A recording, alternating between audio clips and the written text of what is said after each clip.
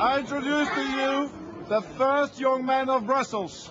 His name is Manneken Pis. Manneken means little man. And Pis, I don't read the translator. C'est très chouette parce qu'eux, ils connaissent pas. Et alors, euh, quand ils comprennent pas, ben, je, enfin, je peux un peu leur expliquer et tout. Before I used to understand about it, I used to go around um, like playing bells of people I think eh? it was very naughty I think.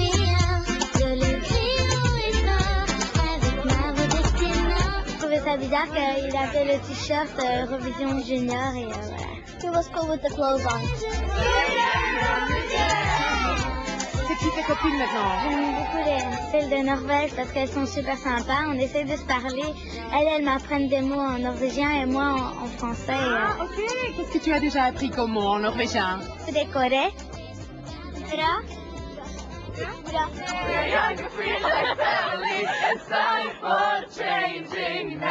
Okay, come, come, come, please. All the tourists of the world, they come here making a wish. Now, if you want to be the first at next Saturday, please try. Welcome to Planet Chocolat. We're gonna try to learn you a little bit more about chocolate. Here's a girl from Belgium.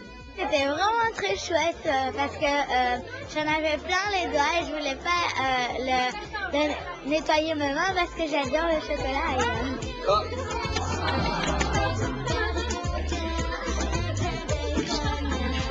On a une chouette ambiance, on s'amuse, on rigole ensemble, on chante ensemble, on danse ensemble. Enfin, on fait presque tout ensemble quoi. Et c'est vraiment très chouette.